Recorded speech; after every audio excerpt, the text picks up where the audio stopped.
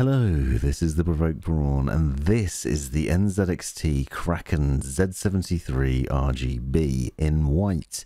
And this comes with an LCD screen that lets you show off GIFs and a number of other things, and you can see it here with the Doom guy on it. Now, I have unboxed and reviewed the original Kraken Z73, the black version, and this is a newer model which not only is now available in white, which looks fantastic by the way, also comes with RGB fans. So it comes with NZXT's RGB fans, the AER RGB2 fans, 320mm fans, and the connections in order to set them up. So the setup and installation is ever so slightly different, and I'm going to show you what's included in the box and how it works. You'll also note that the packaging might suggest this is a black cooler, but there is actually a little label on it which shows that it is the white variant.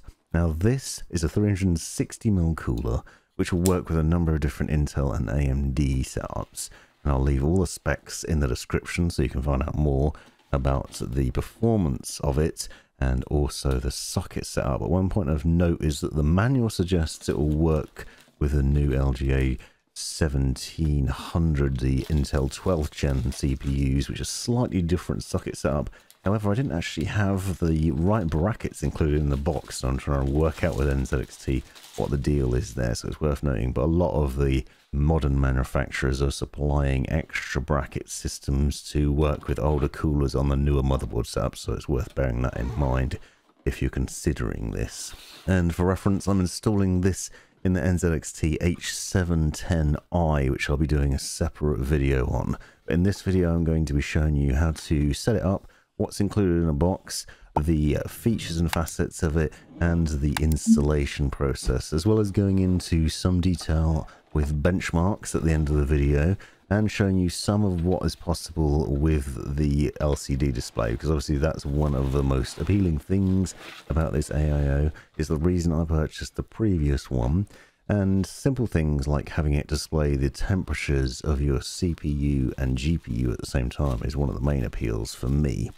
Now this thing comes with RGB fans, which is something that the original model did not. So that's a nice upgrade to this system and a simple setup. NZXT fans, the RGB variants of them are fairly straightforward to install. They come with a daisy chaining logic to them, which I'm going to show you as we go through this video. Essentially, you put a cable between each of the fans and then you finalize the loop by connecting it up and I'll show you how that works. But this means there's a lot less cables than something like the Corsair fan system where there's usually two cables per fan and it becomes very complicated and you need an extra control box and all these other things. This is an all-in-one system so everything you need is included in the box as standard and you can just get going with it and that's superb. It's also, as you can see, magnificent with some really nice contrasting black and white aspects and elements in it. Now this is a 360mm rad I'm going to be installing on top of the case that I'm using and exhausting through it. So I'm going to show you the process for doing that, assuming you want to do something similar. So cool air is going to be pulled in through the front and exhausting through the rad and out the top of the case. This cooler has pre-applied thermal paste that I'm going to be using in this build, so you don't need to worry about applying any thermal paste. It's right there on there. You could of course clean it off and use something fancier if you wanted to, and I'm not going to for the purposes of this because I want to show what the benchmarks are for that.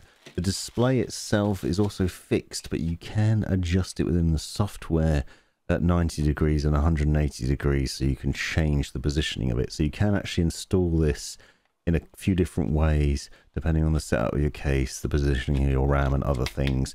And I'll show you more about that a bit later on. It comes pre-installed with the Intel bracket, but you also do have instructions in the box which show you in great detail how to carry out the installation changes for AMD and for the Intel installation. So the instructions are really clear, but what I want to do is give you a demonstration of what the setup process is like and also just talk about the highlights of it. The radiator is a wonderful setup and nicely threaded with the holes for the fan installation as well. So the setup here with this Z73 is exactly what I had before with the previous one in that it is gloriously easy to do Things are a little bit more complicated now thanks to these RGB fans because they do require a bit more thought and a bit more logic in terms of the setup process. But don't worry because I'm going to show you how to do it and the logic for that. So the installation here, as I said, we're looking to exhaust through the fan. So we're going to put the fans with the fan facing towards you, which would be pointing down into your case, which is then pulling the air over it. So I'm going to show you the process for doing that. Included in the box, you have a number of different cables, which might look intimidating at first, but they aren't. Don't worry, we'll get there. As I said, you have the daisy chaining cables, which basically allow you to connect up the cables, looping them together, going from one fan to the next, to the next, and then connecting them up as well. You have a USB-C connection that plugs into the pump head, and I'll show you that as well. Plugs one end into the pump head and the other end into your motherboard on the bottom usually, and it's a straightforward setup. And then you have another cable which has a mass of cables on it. it includes SATA power, the power for your fan connections, so a breakout cable for that, and some other things. Again, straightforward setup, and I will show you that. So stick with me if you want to know how to do it. You also have the back plate for Intel's setup, so I'm going to be doing that here. I am using a 1200 socket CPU here and with an 11th gen motherboard and a 10th gen processor just to complicate things but you can also use AMD's AM4, TR4, STRX4 and you also have the setup for that. You have long screws to screw the fans to the radiator and then small screws to connect it to the case as well. So fairly straightforward setup here and easy installation and a really smooth process for installing the fans. The fans themselves are also very nice. They give off some nice RGB lighting as I will show you later on. And you can get a good amount of speed out of them. They go up to 1500 RPM. They have a max airflow of 52.44 CFM and reasonably quiet, giving off a maximum of 33 decibels. They are fluid bearing fans, so they're not too shabby. They're guaranteed up to 60,000 hours for six years as well, so should be a pretty solid setup here in terms of that. Now, here's the cable that I was talking about. This is a scary looking cable if you don't know what you're doing, but once you get an idea, it's fairly straightforward. One end essentially connects to the pump head, the other then has a multitude of connections on it. You'll see that there is one where there's basically three little cables coming out of that. That is the power connection. So each of these fans has a power connection coming out of it.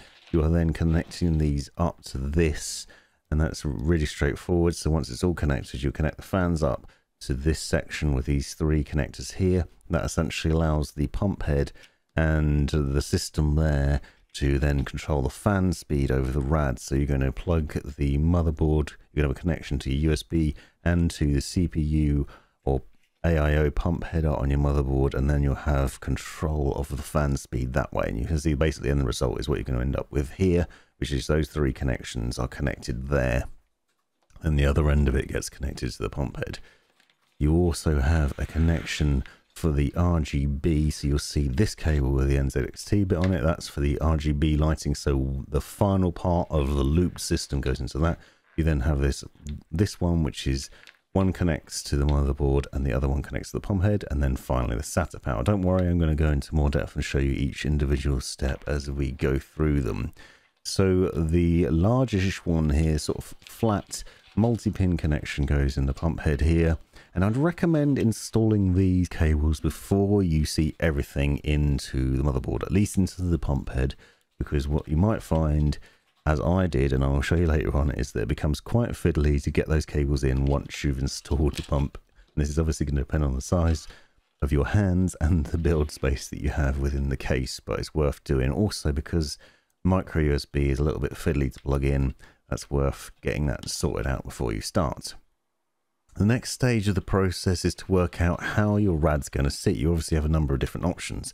As I said, I'm going to mount mine on the top. As long as the pump head isn't the highest point in your system, then you're fine with however you mount it. You won't cause any problems. What I'm going to do here is basically work out which way round I want it. I have the option for having the tubes, for example, on the left-hand side near the back of the case, or you can put them on the right. I figure that it's going to look the best this way around. So I've then sussed it out, got an idea of what the direction of it's going to be. And now I'm going to mount the fans. And the way to do this is to make sure that you've mounted them in a direction so that the cables are facing the back of the case. So that when you've mounted it to the top of the case, those cables are facing the rear. And so you don't have any mess. And so this is the installation process for that. You need the long screws and the washers that are included in the package. And we're basically just screwing the fans down into the radiator.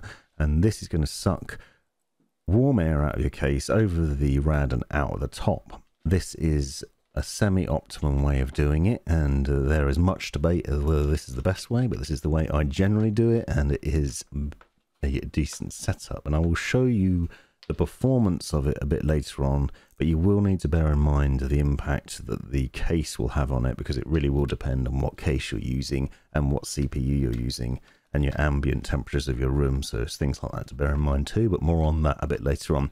You'll see that the installation process for screwing the screws in is really straightforward. It's nicely threaded, so it's dead easy to screw them down. And I've just skipped over the process for it, but it's four screws per fan and then once you've done that is then all connected up so they are in place and ready to do their job. The next stage is to get the tiny little cable that has in and out on it and find the right spots on the fans themselves. So there is a little spot on there and you'll see it marked in and out. You can't actually get these wrong because of the way the fans are placed and also the length of the cable and the markings on them and the shape of the connections but essentially you're just making sure that you have in and out connections between each of them so you can see they're clearly labeled on the fan as well as on the cable so it's really straightforward in order to do this and it's basically just daisy chaining these up. This makes life a lot easier and a lot less complicated than other systems that require two cables per fan to then go to a control box or some other external system. The next process is to then remove the fan tray as you will usually have on most cases. And as I said, this is NZXT's H710i, which I'm going to be doing a video on separately. So if you're interested, be sure to subscribe and come back for that. So this tray is held in place with thumb screws and what we need to do is just take it off to then mount the radiator to it and then you can put the whole thing back in and then use the thumb screws to screw it back down. One thing of note, a mistake that I made in this is that I put the radiator on the fan tray the wrong way around and I didn't realize until after I started the installation process and I actually messed it up and then failed. So what you want to do if you're using the same case as me is make sure that the fan tray is actually seated the right way around so it will be facing in the right direction. So here I've actually got the front to the back of the radiator if that makes sense. But I'll show you the change for that in a minute. But for most of the standard setups of this, basically what we're using is the little screws and the tiny washers to then connect the radiator to the fan mounting bracket on your case. Not all cases necessarily have a removable fan tray. You might be mounting the rad directly to the case, but in this case, you can take that fan bracket out and it makes it a lot easier to set up. Just put it in a position where you can get it flat and you're not squashing the pump tubes or anything else like that and then go about the installation process for screwing those screws in. Again, this is nicely threaded and it's really easy to do. You will also find the instructions in the box included with a nice detailed manual and pictures. So if you're having trouble following me, you might find that you have other options in there. Also talk to you about other setups for it because there are other ways to mount it. You might find, for example, you might like to mount the fans on the other side rather than the way I've done it, but this is uh, optimum for the setup that I'm using. So what I'm doing here is I'm putting the tubes towards the front of the case, and this is what the sort of final setup's going to be once I've installed the motherboard. So I'm just testing it out and making sure it's going to be right. As I said, the tray is actually in the wrong place here, so this isn't the final look, but you'll see what I mean with that in a minute. So the idea is that I'll mount it so that the pump head is sitting something like this, and that gives me an idea of sort of the flexibility of the cables and where I'm going to put them as well. So I actually made a bit of a change to this, which I'll show you in a second because of the cable tidying system and the way that's there. At the back of the case, you can then run those fan cables out.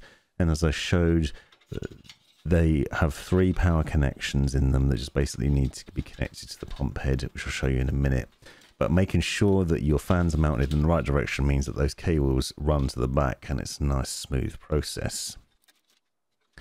For the rest of the installation, I'm just going about installing and setting up the motherboard, obviously installing a RAM, CPU and everything else. you might already have all this done and you're just upgrading your system, or you might be building a new one. This is a 11th gen Intel CPU setup with a motherboard, and I'm using a 10th gen CPU because I'm a madman I'm trying to save some money. So this is a 10900K, a Core i9 from Intel, which I purchased previously, and I'm using the newer generation of motherboard I'm actually building this case for a friend with the idea that maybe in the future they might want to upgrade to the 11th gen Intel CPU in order to get PCIe Gen 4 in case you're curious. But the 10th gen Core i9 does run at quite warm temperatures, so it's worth using an all-in-one cooler to make sure getting the best experience out. This is a nice case as well. It's a nice, easy case to build in. Obviously, I'll go into more depth in the review and the setup of that and how it works and the quirks of it and the things I like about it, but you can see the end result is quite a nice setup. Now, at the back, once you have the motherboard installed, you need to use this bracket. This is the Intel bracket. You basically need to push those little connectors in for this setup if you're using the same as me it has a different sort of adjustment for different Intel boards. So if you have a different socket, you might push those connectors out to the furthest point. But for the 1200 socket, we're pushing them all the way in, and you then screw in the standoffs. So in this case, the standoffs with the same length on either side are being screwed into the four corners of that bracket that's mounted on the rear. The process for this is obviously different with the AMD, but as I said, the instructions will hopefully cover that, and I can't cover it all because unfortunately I just don't have an AMD CPU and motherboard setup to be able to show you that. But the process for Intel is remarkably straightforward and simple. One of the considerations is how you're going to mount the pump head, though. What you'll see in a minute is there might be some interference with the RAM.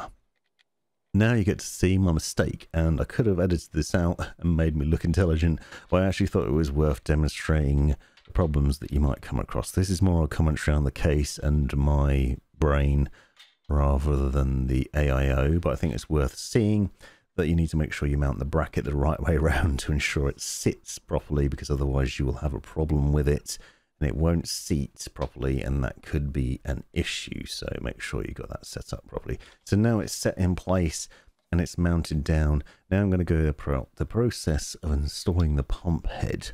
So there are a number of options that you can do. As i said because it has a display on it you can adjust it within the cam software so you can turn it and reposition it I'm going to go with a setup it here with the pump tubes on the right. It does squash up quite tight against the RAM, but based on my knowledge of what I've done with the Z73 in my case, in previous build, it is possible to do. It's just very tight.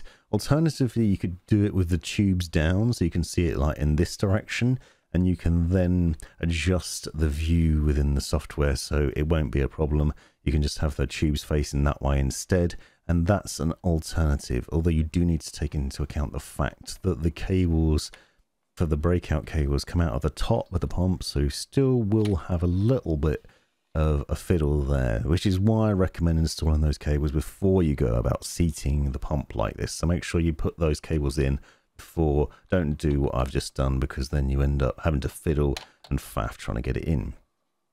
Gently tease the pump head onto those standoff screws and hold it in place while you screw on the thumb screws.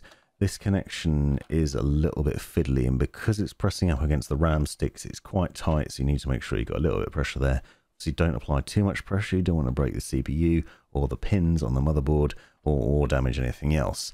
I'm basically making sure we've got everything seated well and it's screwed down nicely, not over tightening but just getting it just right. Pre-applied thermal paste means this process is fairly straightforward because you don't need to worry about applying your own thermal paste. But if you do make any mistakes or if you do find that your CPU is running a bit hot, you could just unscrew this system, obviously with the machine turned off, and clean off the thermal paste off both the CPU and the pump head and apply some fancier thermal paste, something like Thermal Grizzlies from Kryonaut, they were particularly good set up there. They've got some really nice pads and different applications that might make a difference, but for standards, pre-applied paste works pretty well. Now is the time to install those cables. You will see now the fiddle and faff I had with it and why I'd recommend doing it beforehand. Essentially, we've got to install this single one in the top and then the micro USB, and then I've got to run everything to the back. The micro USB connection goes to the bottom of the motherboard to the USB header. And again, this plugs in and it's a bit fiddly, and then you have to run the cables. One of the downsides of this setup, as you'll see, is there's a lot of cables coming out the top. You then have to cable manage and try and make tidy and neat, which is quite difficult. I ended up using some ties in order to do that, to tidy those cables up a little bit, but it is a little bit tricky. It's not terribly easy. Unfortunately, not the best looking mess of cables, but they are really convenient and easy to connect because essentially what you've got here is everything that you need. You have the SATA power for the power connection, you have an RGB connection so that you can daisy chain up the RGB from there. And you also have obviously the power for the fan connections. So you have everything you need all connected into the pump head. And then the pump head's connected by USB connection to the motherboard and also a small connection, which I'll show you in a second, which basically connects to the CPU fan header on the motherboard and that means that the pump and your motherboard can talk to each other and control everything, make sure your CPU runs as it should. So we're now going around to the back of the case, we're taking the cables from each of the fans and we're connecting them to this breakout cable, which is the three connections for the power. Really simple and straightforward, one of the easiest installations and really fuss free. You do then obviously have to go about the process of cable tidying and making things a bit neater, which is a bit more of a faff. The SATA power connection comes from your power supply unit, and this is a flat connection that you'll see here, and you'll probably find there are other power supply connections like this that you need to connect. Front panel, for example, might have some power connections like that. You'll also find it with SSDs and hard drives. So you'll run a cable from your power supply to do that, and then setup's all done. So just remember, make sure that you plug that in little connection in for the CPU fan header as well on the motherboard, which is usually in the top left. Now we've done that and it's turned on and it's working, we can obviously peel off the cover and then you get to use that and test it out. And you can see the RGB lighting lit up on the top here and also a demonstration of my favorite setting for this pump head and for the Z73 in general, which is to have the CPU and GPU temperatures on display. This is the dual infographic setting. If you watched my previous video, you'll have seen you go into the NZXT CAM software and show off what you can do here. But this is one of my favorite settings, although it's really nice to have the GIFs and that. I'll show you that. But the other thing here that you have is you obviously have the RGB lighting, and there's a variety of RGB settings within the software where you can tweak the lighting effects. Obviously, some of the lighting that you're seeing here, the LED strip, for example, is included with the NZXT case, and so the effects are sort of interesting and overpowering perhaps from that, but you can see you have a nice ring around the fans on the cooler, and if you have NZXT fans with RGB, you can connect up the full system that way and use the control box that's included with them to get the best view. Now, one of the things I noticed was it was running quite warm. So I was playing games and I found that we're playing the same game on two different machines and getting about 60 degrees uh, on one machine and about 50 degrees on the other. Now, this isn't a commentary on the PC or on the cooler, but instead on the case setup, which is what I was saying, because this case is actually throttling the thermals a little bit, perhaps, and it's not a fair comparison because there's a lot more fans in my normal case. But I ran a Cinebench test and some other benchmarks to see what the performance was like, and I was getting around 80 degrees centigrade, somewhere between 70 and 80, maxed out usually about 80 degrees centigrade on the CPU during these benchmarks. Quite intensive testing with the CPU running at maximum speed and at 100% load, so it does get very warm. Now you can see some of what you can do with the pump head. So you have the ability to add in GIFs of any sort, so you can basically add in whatever you want. And there's a variety of different options. Obviously, you can just go to giphy.com and download your favorite GIFs and you can put it in there and position it easily and have those run nicely. And the result's pretty nice looking. And this is one of my favorite setups because you have a variety of different options in terms of what you can do. You can customize and show off a number of things, whether it's the load that's on the CPU, load that's on your GPU, the temperatures of the cores, the temperatures of the liquid, the current performance of your CPU, and you can change the colors and effects of them as well. So there's loads of different settings. Because of the RGB lighting on the fans as well, you can change it so that the fans represent different things in terms of the temperatures.